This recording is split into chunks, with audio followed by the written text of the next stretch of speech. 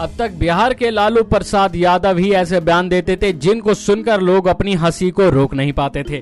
यहाँ उनके बेटे तेजस्वी यादव को उनके ऑफिशियल व्हाट्सएप अकाउंट पर पचास हज़ार से ज़्यादा शादी के प्रस्ताव मिल चुके हैं।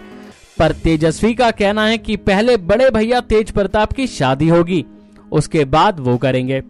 और अब तेज प्रताप से शादी को लेकर एक सवाल, किया तो उनका जवाब सुनकर आप अपनी हँसी को रोक नहीं पाएँगे? उन्होंने कहा कि कैसे करें शादी?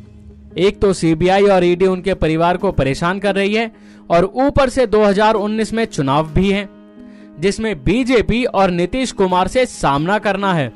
साथ ही तेज प्रताप ताल ठोक कर यह भी कहते हैं, जिस दिन शादी होगी तो नीतीश कुमार भी आएँगे और सीबीआई के अधिकारी भी।